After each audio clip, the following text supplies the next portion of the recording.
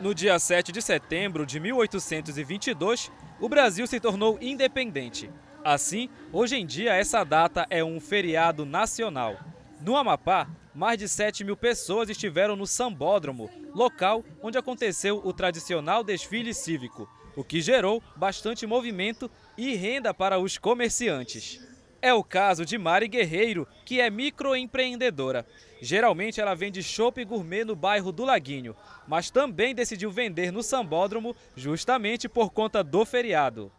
As vendas estão muito boas, nós estamos aqui com chopp gourmet, vários sabores. Os sabores que eu tenho são é, morango com Nutella, nós temos também maracujá, nós temos também cupuaçu coco, ninho com Nutella também. Estão todos aqui, eles são todos higienizados com água mineral.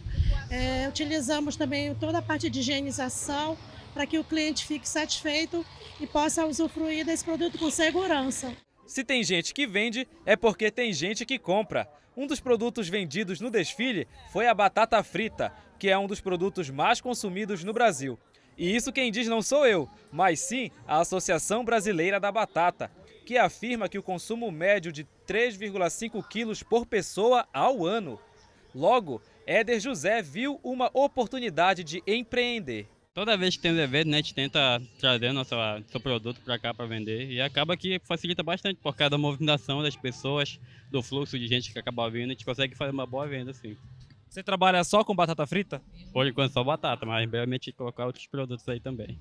E sai bastante? Sai, sai bastante. O pessoal gosta muito de uma batata. E ainda enfatiza que aceita diversas formas de pagamento. Dinheiro, pix, espécie, um quilo de feijão, o que tiver, a gente vai te dar um jeito de vender. Assim como a dona Sônia Maria, que trabalha com comidas típicas. Ela também aproveitou para tirar uma renda a mais todas as programações a gente tá e é muito boa, graças a Deus, entendeu? A gente tem, tem tido assim um, um, um lucro a mais, né, pra gente, que a gente vive de aluguel, nós estamos desempregados, então é uma oportunidade maravilhosa pra gente. A gente não perde nenhuma.